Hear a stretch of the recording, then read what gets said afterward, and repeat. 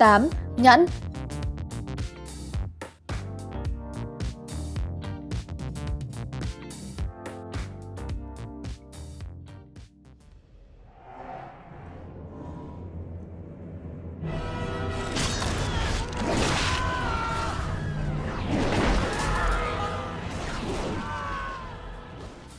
Theo truyền thuyết kể lại, thời xa xưa tất cả quyền lực và sức mạnh của thế giới nằm trong 19 chiếc nhẫn, trong đó ba chiếc thuộc về những vị tiên, 7 chiếc nằm trong tay những vị thần lùn và 9 chiếc do người thường nắm giữ.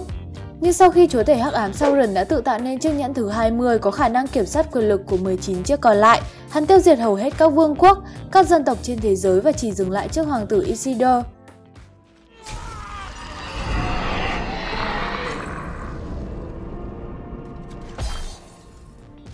Ngay sau đó, cuộc tranh giành chiếc nhẫn đã khiến hoàng tử phải bỏ mạng, còn chiếc nhẫn thì thất lạc trong bí ẩn. Chúa tể của những chiếc nhẫn chính là nơi mà những chiếc nhẫn có sức mạnh khổng lồ được nhiều kẻ mong muốn có được.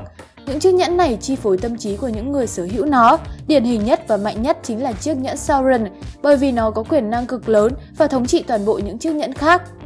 Chiếc nhẫn này có thể giúp chủ nhân của nó không hề bị già đi, khiến con người biến mất khỏi thế giới này trong một khoảng thời gian và có thể thay đổi kích thước cơ thể theo ý muốn của bản thân. 7. Đũa thần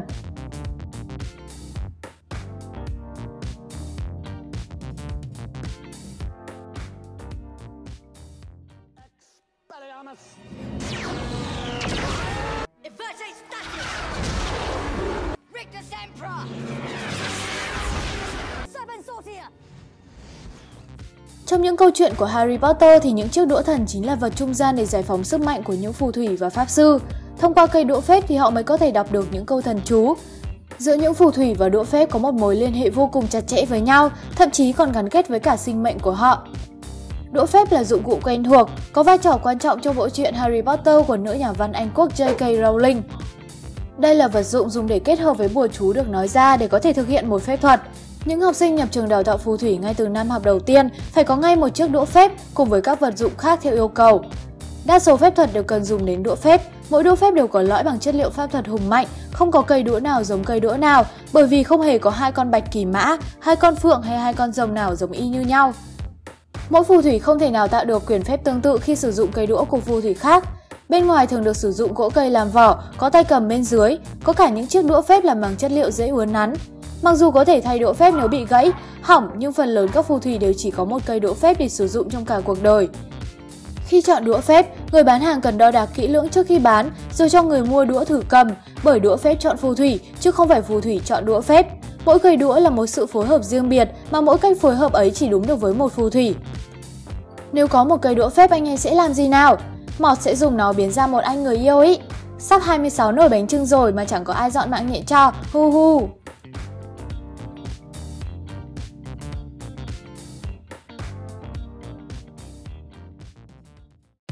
6. Vương miện Petmora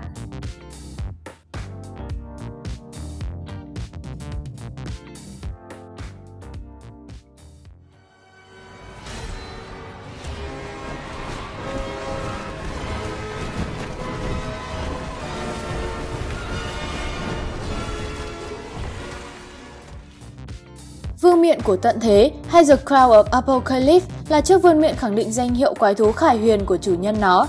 Chiếc vương miện này thường tàng hình bay lơ lửng trên đầu Hellboy và chỉ có thể lộ ra bằng một số phương pháp đặc biệt. Chiếc vương miện này từng xuất hiện trong phần thứ hai của là phim Hellboy, Hellboy 2, The Golden Army. Chiếc vương miện này cho phép chủ sở hữu của nó có thể sai khiến được cả một đội quân vàng vĩ đại, được tạo nên từ những cỗ máy của những yêu tinh Petmora. Đây là một đội quân vô cùng khổng lồ và có thể khiến cho cả thế giới lâm nguy.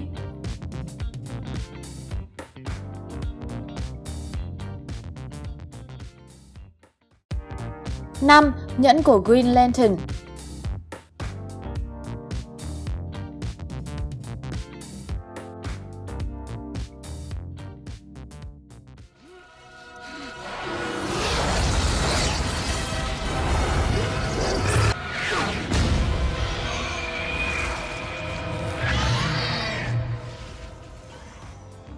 Green Lantern là nhân vật siêu anh hùng hư cấu xuất hiện trong truyện tranh Mỹ, được phát hành bởi DC Comics Họ chiến đấu với cái ác nhờ vào sức mạnh siêu phàm được cung cấp từ chiếc nhẫn. Trong phần phim về Green Lantern, thì mỗi Green Lantern đều được trang bị cho mình một Power Ring và Power Battery. Đây chính là nguồn sức mạnh của những siêu anh hùng này. Người sở hữu sẽ sử dụng sức mạnh ý chí của mình để kích hoạt những chiếc nhẫn này.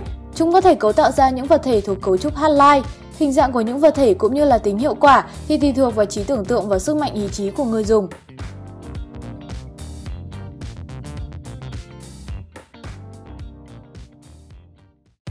4. Ngọc rồng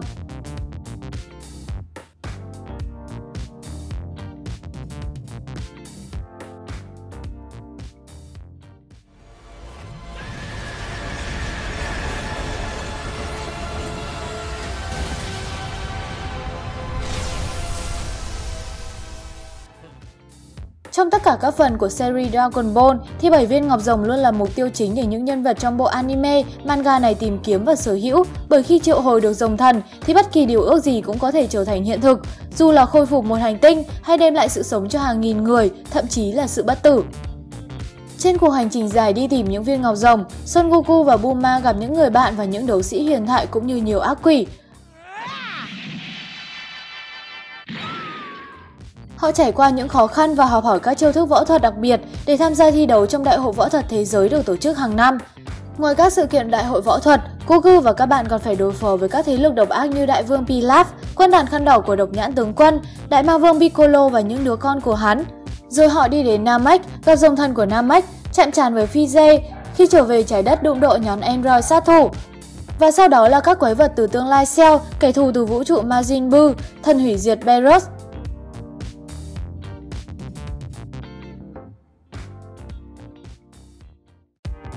3. Stormbreaker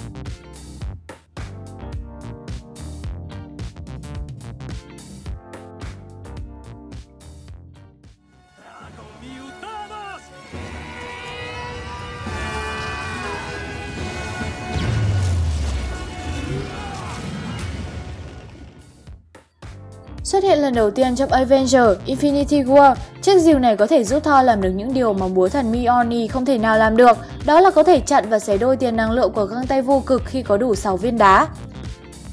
Stormbreaker có thể điều khiển sấm sét, dùng như một vũ khí cận chiến hoặc ném đi xa, hấp thụ năng lượng và bắn trả bất kỳ nguồn năng lượng nào. Tự cây diều còn có thể hô mưa gọi bão, tia sét điện ngầm đủ kiểu khi đập xuống đất. Không những có sức mạnh phi thường, Stormbreaker còn có khả năng mở được cầu Bifrost và sức mạnh khổng lồ đến nỗi có thể phá hủy được cả một hành tinh. Nếu sự thật đúng là như vậy, thì sức mạnh của Stormbreaker quả thật là vô song, khó có vũ khí nào có thể địch lại siêu thần khí này. Nói đến đây thì lại thấy may mắn cho Thanos vì Thor đã mất bình tĩnh trong những giây phút cuối cùng trong Infinity War. Nếu anh có thể nhớ đến khả năng này thì cho Thanos thêm hai cái tất vô cực cũng không thể làm gì được Thor.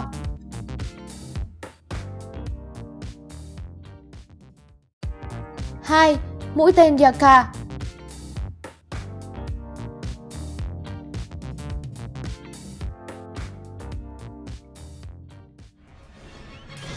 तुम्हारा पिता होने के नाते मैं तुम्हें ऐसा नहीं करने दूँगा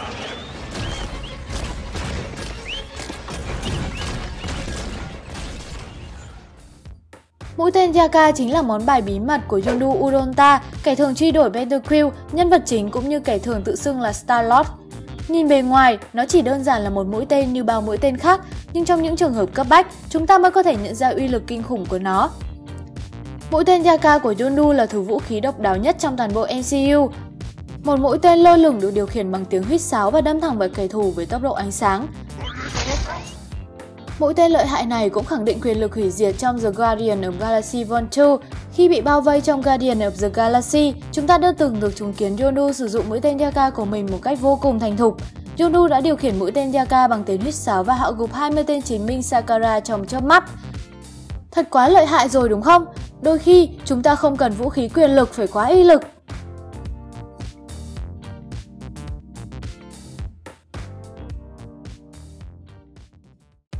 1. Găng tay vô cực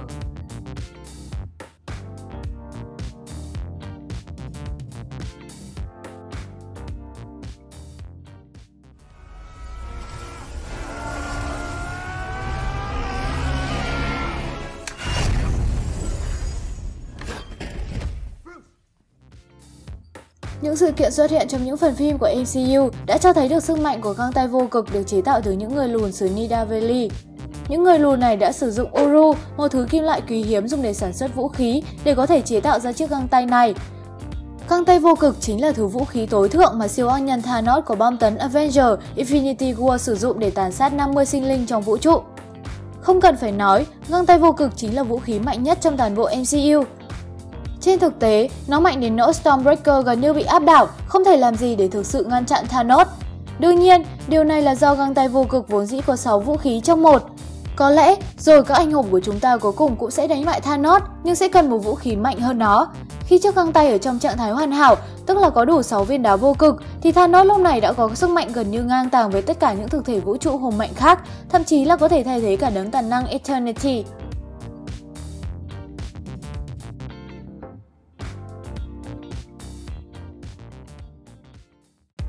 Còn bạn, bạn thấy vũ khí nào là mạnh nhất? Hai bạn còn biết loại vũ khí nào mạnh hơn? Hãy để lại ý kiến của mình trong phần bình luận để mình có thể làm video phần 2 nhé! I love you Trịch Trịch, bye bye! Đừng quên like video, nhấn đăng ký kênh, bật chuông thông báo và để lại bình luận để ủng hộ chúng tới nhé các bạn thân mến. Cảm ơn các bạn rất nhiều.